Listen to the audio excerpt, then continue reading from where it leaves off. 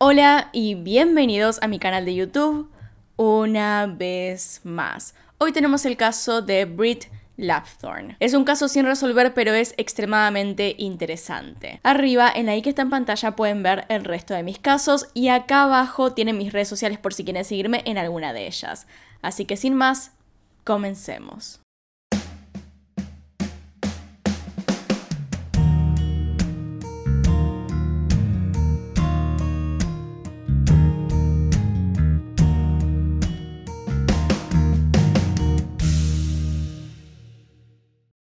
Ella era Brit Catherine May Lapthorne. Nació el 13 de julio de 1987 en Melbourne, Australia. Brit creció en la ciudad de Eden Park, al norte de Melbourne. Era hija de Dale y Elke Lapthorne. Además, tenía un hermano mayor llamado Darren, quien por cierto era un ciclista profesional. Su familia la describe como una chica muy alegre y divertida que siempre los hacía reír a todos. Desde los 8 años hasta los 11, Brit vivió junto con su familia en China.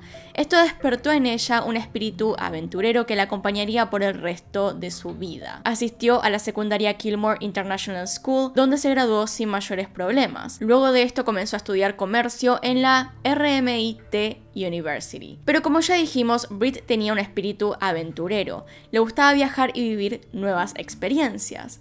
A partir de los 19 comenzó a viajar todos los años a otros países. Generalmente hacía esto cuando estaba en vacaciones de la universidad. Usualmente cuando no estaba de viaje o en época de clases se quedaba a vivir con sus padres, con quienes tenía una relación bastante cercana. Llegada a los 21 años y para tomarse un descanso de sus estudios, decidió emprender un viaje como mochilera por toda Europa. Es entonces que en agosto de 2008 comenzó el viaje yendo a su primer destino, Alemania. En esta primera parada se encontró con su hermano Darren, Junto a él fueron a Francia con sus padres y una vez allí visitaron museos, pasearon y finalmente festejaron el cumpleaños de Brit, todos juntos en un restaurante francés. Una salida preciosa antes de un final trágico. Después de esto, Brit y su hermano volvieron a Alemania. Una vez en Alemania, los dos se separaron ya que Darren tenía que concentrarse en su carrera como ciclista. La familia estaba separada y esperando volver a verse en unos meses. Así que Brit comenzó su viaje de mochilera sola por Europa. Brit hacía lo típico de un viaje de mochileros, paraba en hostels y recorría los lugares donde se iba quedando sin estar demasiado tiempo en un mismo lugar. Subía fotos y detalles de su viaje a Facebook frecuentemente por lo que sus familiares y amigos podían saber lo que estaba haciendo en casi todo momento. Durante esta primera parte del viaje, en agosto del 2008, Brit se hizo amiga de una chica llamada Tara Reynolds, que también era australiana y estaba como mochilera hospedándose en su mismo hotel. Juntas recorrieron Alemania, República Checa, Hungría y Eslovenia. Luego de estos lugares, su nueva amiga Tara volvió a su casa, por lo que Brit continuó con su viaje sola. El próximo y último destino de Brit sería Croacia. Brit llegó a este lugar en las primeras semanas de septiembre. El 15 de ese mes llamó a sus padres para contarles cómo estaba yendo el viaje y el 16 publicó en su Facebook que estaba en la ciudad de Dubrovnik. Es bajo este contexto entonces que pasamos al día de los hechos.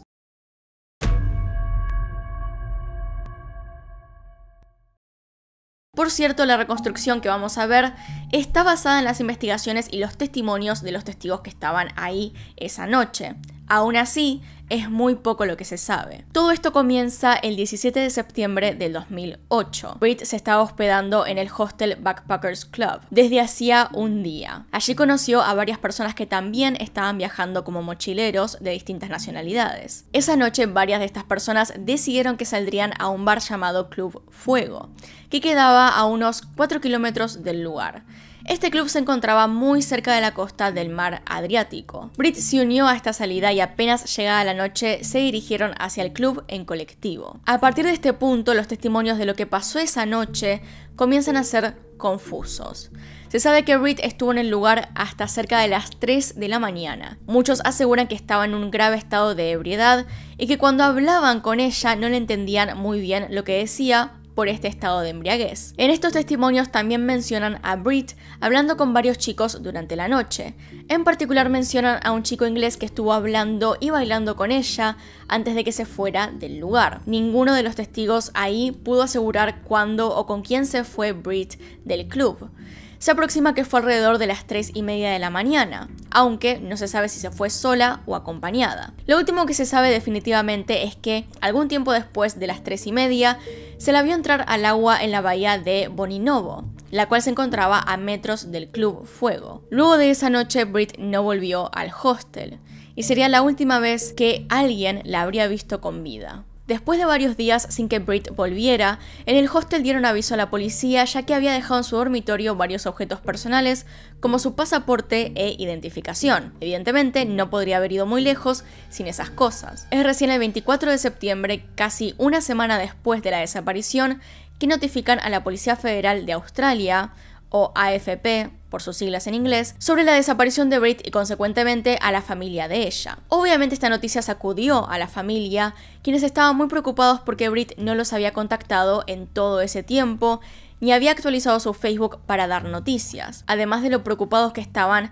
por encontrarse a miles de kilómetros del lugar y no poder ayudar directamente. La familia, sin embargo, hizo todo lo posible desde Australia para que las autoridades de ese país se pusieran en contacto con las de Croacia para ayudar con las investigaciones y estar al tanto de cualquier novedad. Estas investigaciones avanzaban en Croacia, se entrevistaban testigos y buscaban pistas, pero nada parecía dar mucho resultado. Los testigos no recordaban bien los detalles de esa noche y no tenían mucho registro de lo que había hecho Brit. Además, la conocían hacía un día. Es entonces que el 6 de octubre de ese año, un pescador encuentra un cuerpo flotando cerca de la bahía de Boninovo. El cuerpo se encontraba en un estado de descomposición muy avanzado y era imposible de identificar a simple vista. Luego de hacer pruebas de ADN comparadas con muestras que dio Dale Lapthorne, es decir, el padre de Britt, finalmente se pudo determinar que ese cuerpo era el de Britt. El cuerpo fue llevado para hacerle exámenes forenses en el Hospital General de Dubrovnik, a cargo del doctor Igor Boric. Estos exámenes lamentablemente no dieron muchos resultados debido al estado avanzado de descomposición. No se pudo determinar la causa de la muerte, así como tampoco la fecha de muerte con exactitud. Las pocas partes del cuerpo que pudieron ser examinadas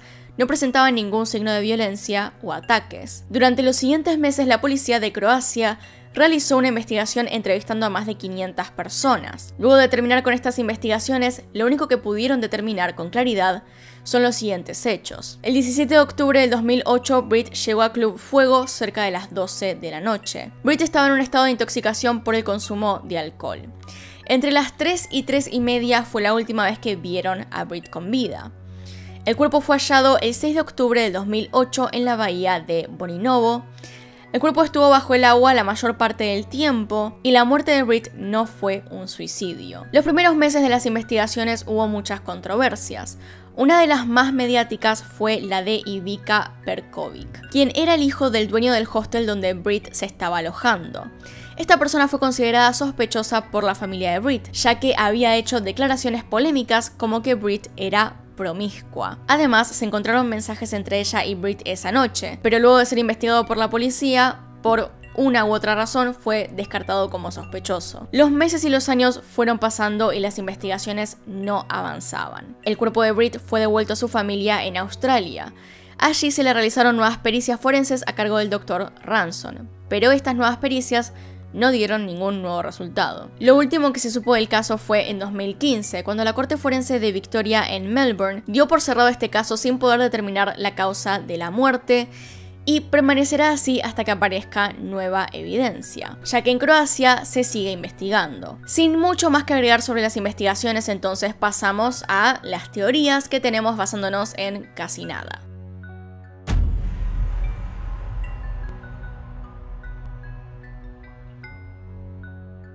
En base a la poca evidencia que hay del caso es muy difícil teorizar sobre qué pudo haber pasado, ya que literalmente pudo haber pasado cualquier cosa.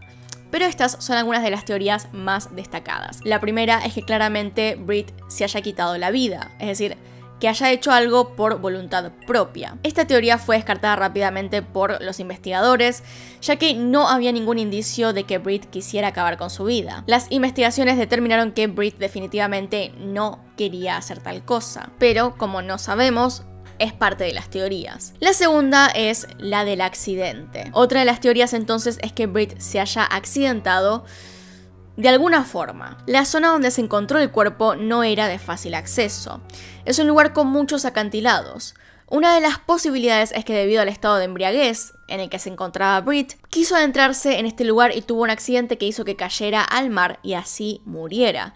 Sin embargo, las pericias no mostraron signos de que el cuerpo tuviera golpes o heridas previas a la muerte, aunque también es verdad que debido al estado del cuerpo, ya que estaba muy descompuesto, hubo muchas partes que no pudieron ser analizadas, así que tampoco podemos saber en profundidad pero es una de las teorías que más probables suenan. La última opción que tenemos es que, evidentemente, Brit haya sido asesinada. Debido a la poca cantidad de evidencias, como vengo diciendo todo el video, pudo haber sido cualquier persona. Sí, esto es lo que pasó. En algunos testimonios se dice que Brit estuvo hablando con un chico inglés poco antes de desaparecer, que incluso bailó con él. También fue acusado el hijo de los dueños del hostel. Sin embargo, las investigaciones nunca dieron a ninguna persona de interés. También está la posibilidad de que haya sido una persona que se cruzó en el club, que no conocía del hostel ni de ninguna parte, o que se cruzó fuera de este. Estaba vulnerable en ese momento, así que es posible. Uno de los mayores fundamentos para esta teoría es justamente que la zona donde se encontró el cuerpo era de muy difícil acceso. Es decir, que Brit probablemente no haya podido acceder por sí misma a ese lugar en ese estado. Además, las pericias determinaron que el cuerpo de Brit estuvo bajo el agua la mayor parte del tiempo. Según el padre de Brit, esto se debe a que alguien le agregó algo de peso al cuerpo para que éste permaneciera hundido. Sin embargo, como ya dijimos antes, no había muestras de esto en el cuerpo. Aún así, como estaba descompuesto y como resurgió, si tenía algo de peso, puede ser que simplemente se haya despegado de esa cosa. Pero por otro lado, la policía buscó debajo del agua en la zona donde estaba y no se halló nada que pudiera haber atado el cuerpo para que éste permaneciera hundido. Como pueden ver, es un poco difícil descubrir qué le pudo haber pasado y sinceramente pudo haber sido un accidente. El tema es cómo hubiese llegado a esa zona borracha y en un lugar que era muy difícil de acceder. Eso es lo raro más que nada. Diría que por eso puede entenderse a que una persona la haya llevado hasta ese lugar. Tal vez fue un accidente de otra persona, es decir, tal vez no tenía malas intenciones y simplemente fue un accidente y salió del lugar para no ser culpado. Puede ser, tranquilamente, pero no lo sabemos, así que díganme abajo en los comentarios qué opinan del caso y qué les parece que ocurrió esta vez. Por ahora el caso permanecerá sin resolver. Así que bueno, acá están mis Patreons y los miembros del canal, gracias por apoyarme a través de estos medios. Ya saben que se pueden suscribir a Patreon abajo en el link que está ahí en la descripción. O también pueden ser miembros del canal si así lo desean y tener un icono de dinosaurio que pronto voy a estar cambiando para que sean más iconos diferentes. Así que sin más, acá tienen un video nuevo, acá tienen un video recomendado, se pueden suscribir haciendo clic en mi cara y nos vemos en otro video. Adiós.